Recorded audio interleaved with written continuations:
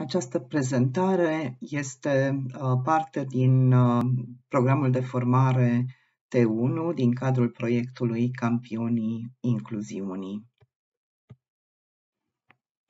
Activitatea T1, intitulată Pregătim școala părinților campioni ai incluziunii, se adresează cadrelor didactice și urmărește să pregătească aceste cadre didactice pentru susținerea unui program de educație parentală în domeniul incluziunii. Impactul la care ne așteptăm este, bineînțeles, livrarea de succes cu rezultate sustenabile a programului de educație parentală pentru grupuri de părinți romi și neromi din cele șase școli uh, partenere. În cursul acestui uh, modul al formării, uh, ne propunem să obținem o agenda, o schiță de agenda și materiale le aferente care se vor folosi pentru desfășurarea întâlnirilor cu părinții uh, pe tema învățării acasă. Profesorii participanți la acest modul vor fi capabili să descrie modul de facilitare a învățării acasă de către părinții copiilor școlari, să explice legătura dintre sprijinirea părinților pentru a se implica în învățarea acasă și creșterea gradului de incluziune în școală, să exemplifice activități specifice de implicare a părinților în învățarea acasă, și aici tot timpul ținem cont de scara implicării părinților, de diferite niveluri de implicare, să descrie activitățile prin care școala va putea implica părinții în învățarea acasă a copiilor lor, și aici legătura pe care o facem este cu strategia școlii pentru creșterea implicării părinților și, de asemenea, profesorii vor fi capabili să proiecteze două seturi de activități de câte trei ore cu părinții pe tema învățării acasă. În primul rând, să vedem ce înțelegem prin implicarea părinților sau a familiei în învățarea acasă. Prin acest mod de implicare a uh, părinților,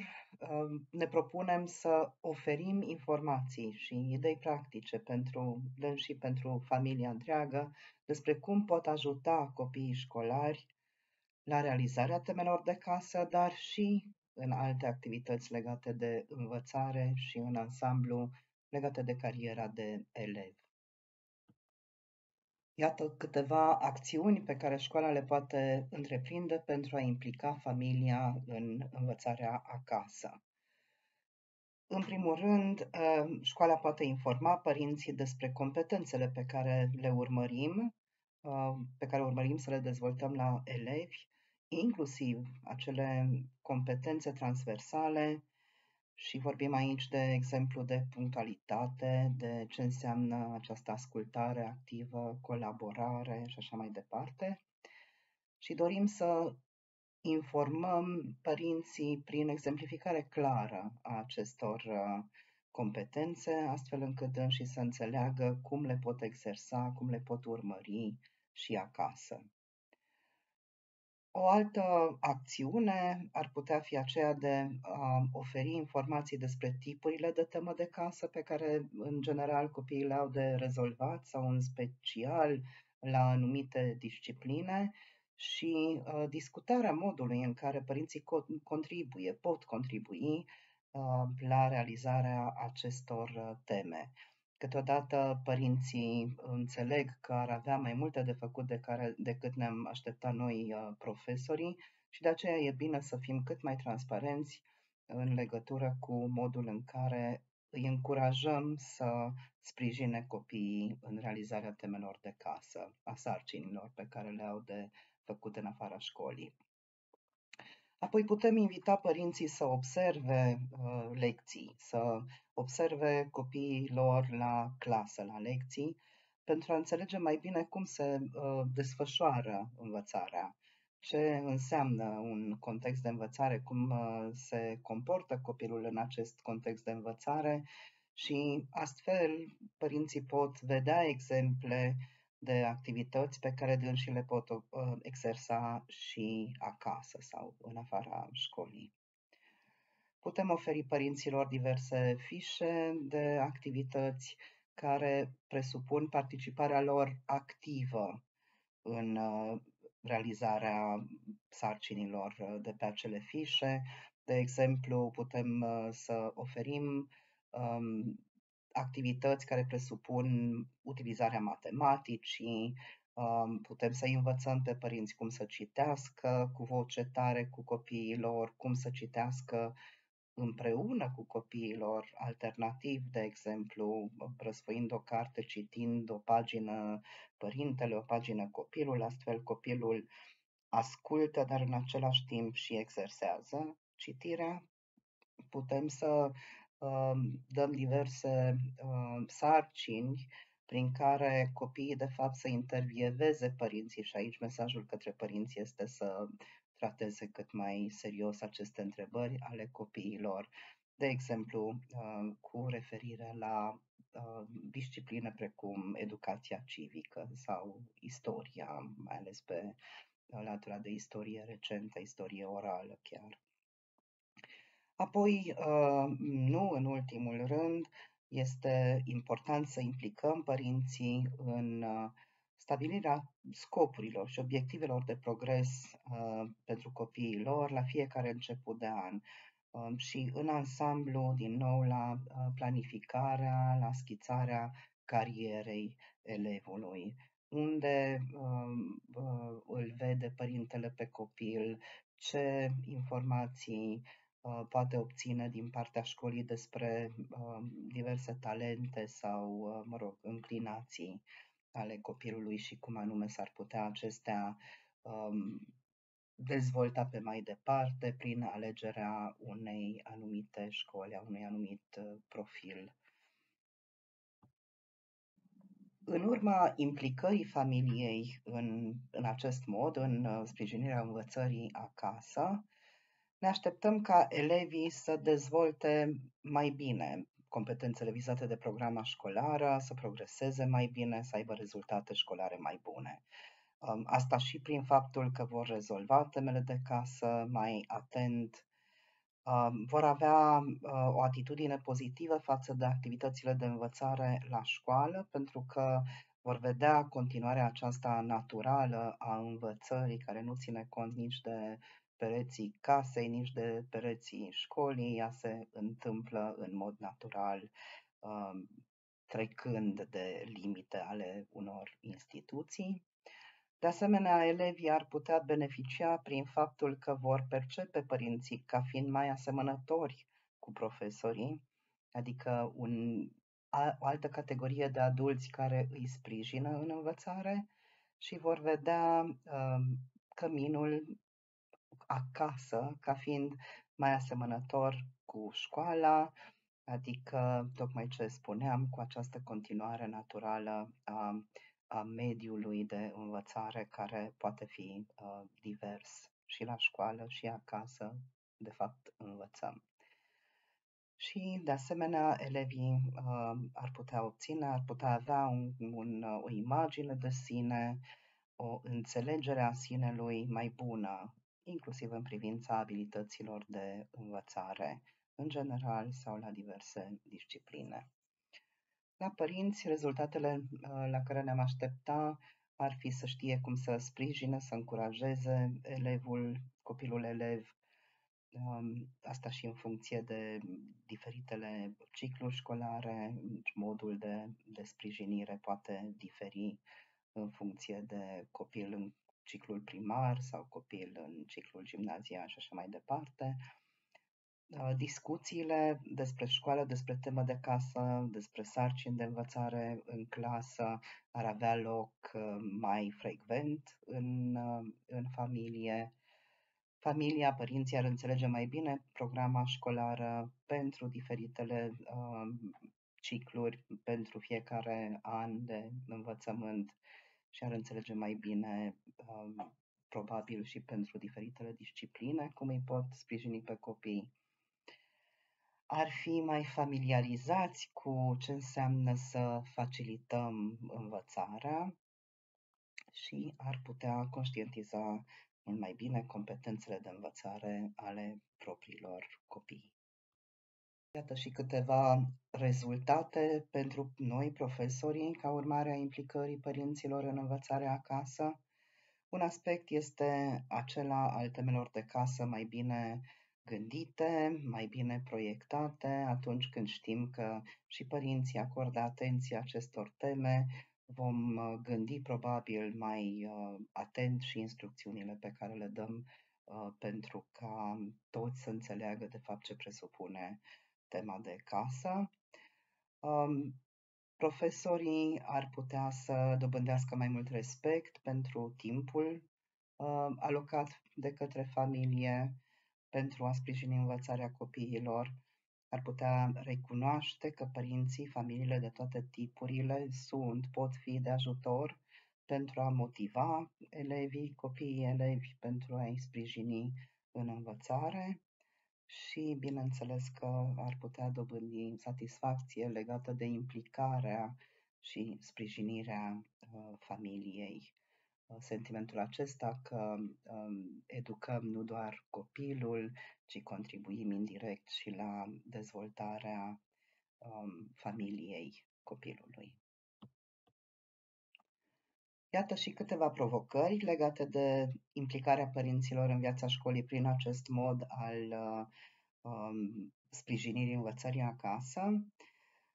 Un prim aspect, o primă provocare ar fi aceea de a proiecta și organiza un program regulat, periodic, de teme de casă interactive. De exemplu, puteți stabili că săptămânar sau lunar veți avea astfel de teme de casă, ceea ce sperăm să-i responsabilizeze pe elevi să discute despre lucrurile pe care le învață la școală cu părinții, și în același timp familiile să conștientizeze, să fie cât mai, cât mai la zi, cât mai la curent cu cele învățate la școală. Apoi, uh, pentru că s-ar putea ca elevii să aibă mai mulți profesori, e bine să coordonați temele de casă care fac apel la implicarea uh, părinților, a familiei, uh, pentru ca să nu apară foarte frecvent astfel de de teme care solicită, de exemplu, știu eu, intervievarea părinților. Și, nu în ultimul rând, e bine să implicați familiile și elevii în deciziile importante legate de curiculumul la decizia școlii, pentru că astfel crește și interesul pentru ceea ce se învață la școală. Atunci când putem alege, când putem mă rog, trecând de curiculumul nucleu, când putem uh, avea o părere despre ce ne-ar plăcea să învățăm la școală, atunci uh, e important uh, să reținem că poate fi un aspect motivant pentru copii și pentru părinți. În contextul acesta al învățării acasă, cu implicarea familiei, se impun și câteva precizări. Temă de casă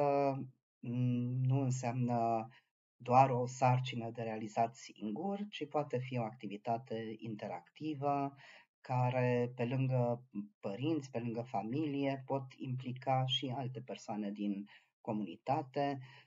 legând noi astfel învățarea de viața autentică din comunitate.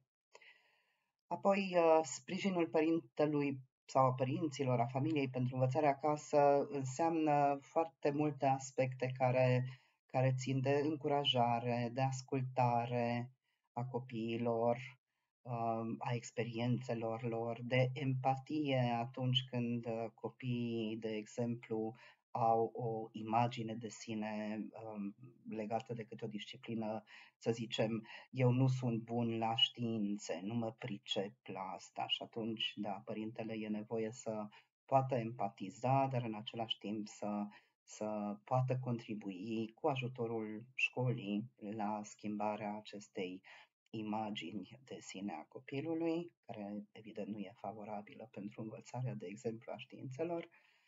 Um, foarte multe aspecte așadar, inclusiv monitorizarea învățării acasă a copiilor,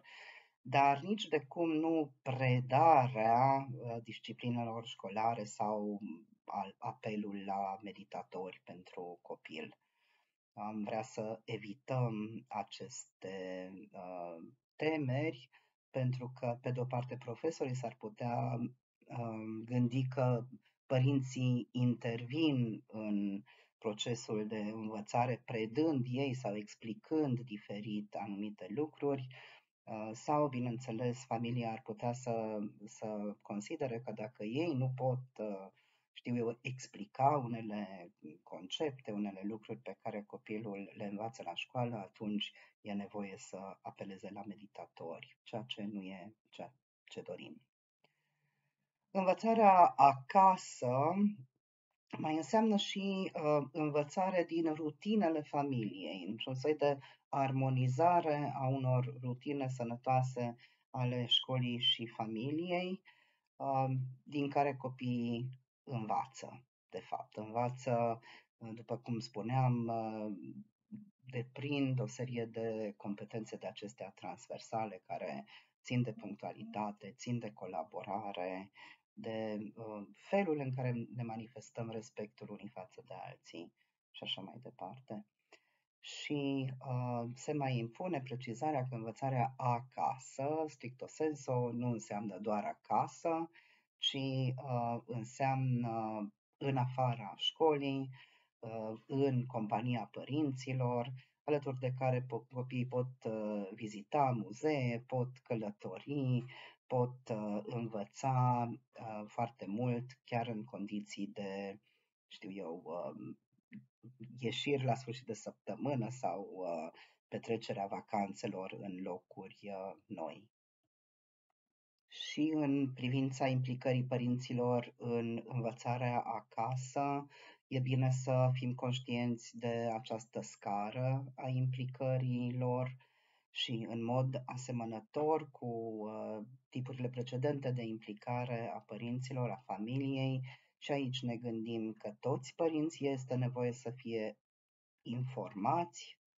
că un grup mai restrâns de părinți probabil vor participa la consultări legate de învățarea acasă, că vor fi unii părinți care participă la acțiuni care, care sunt menite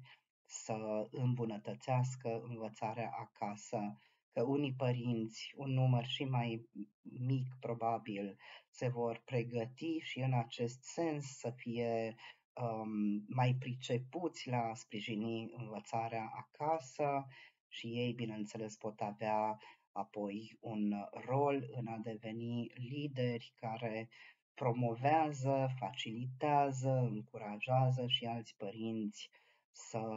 um, fie cât mai uh, bine pregătiți pentru a sprijini învățarea acasă a copiilor lor. Suntem acum pregătiți să ne apucăm de planificarea acestei uh, modalități de a implica părinții în viața școlii și să proiectăm cele două întâlniri de câte uh, trei ore cu părinții.